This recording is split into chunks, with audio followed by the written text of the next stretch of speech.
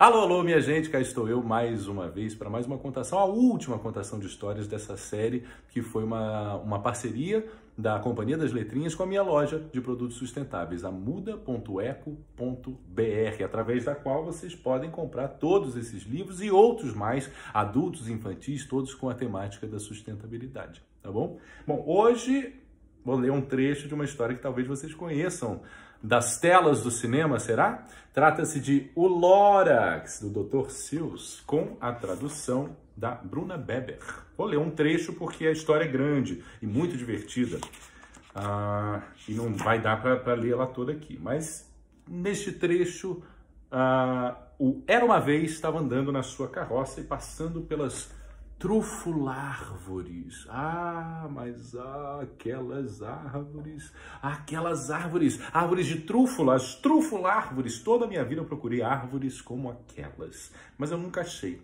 Macio de suas cabeleiras, mais delicadas que a seda, tinha um cheiro doce e suave de leite fresco de borboleta.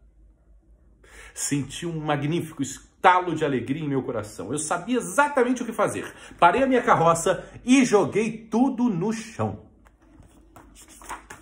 Em pouco tempo, abri uma pequena loja e com uma machadada só derrubei uma trufular. E com admirável habilidade habilidosa e velocidade veloz, arranquei a sua cabeleira macia e tricotei uma não cessidade. Assim que eu terminei, ouvi uma lenga-lenga. Olhei e vi surgir uma coisa esponjenta no tronco da árvore de trúfulas que eu tinha acabado de derrubar. Era uma espécie de homem, do tipo antigo. Como descrevê-lo? Tarefa difícil, não sei se eu consigo.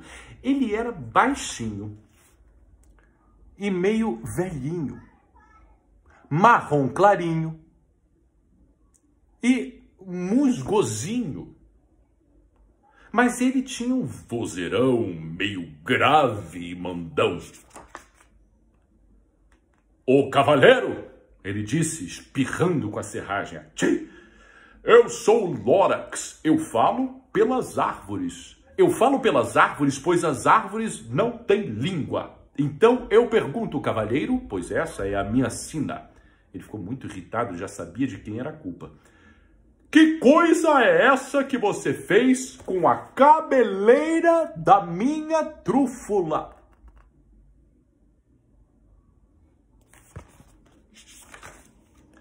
Ah, Veja bem, Lorax, eu disse, não há motivo para alarde. Eu só derrubei uma árvore.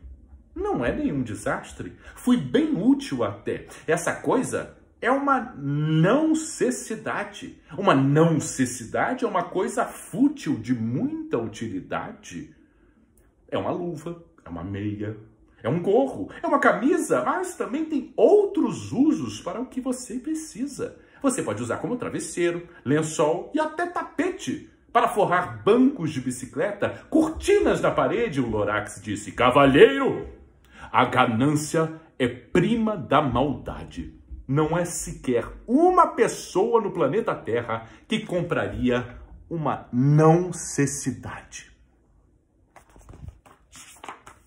No minuto seguinte, Provei que o Lorax estava enganado, pois logo apareceu um sujeito que ficou interessado e achou muito legal a não cessidade que eu tricotei.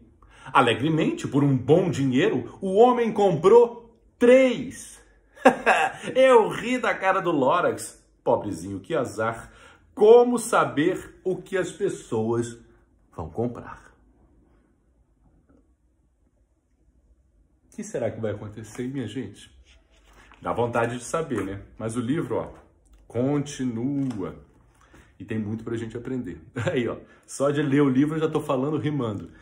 Ai, gente, foi muito, muito legal poder estar aqui lendo um pouquinho de literatura infantil para vocês. Uh, e eu espero que essa, essa parceria da minha loja com a Companhia das Letrinhas continue dando frutos. E espero que vocês possam se interessar também por literatura que ensina as crianças a cuidar me melhor do meio ambiente Uh, e compre através da muda.eco.br esses livros que vão chegar de graça na casa de vocês. Bom, o frete é grátis, né? Um beijo!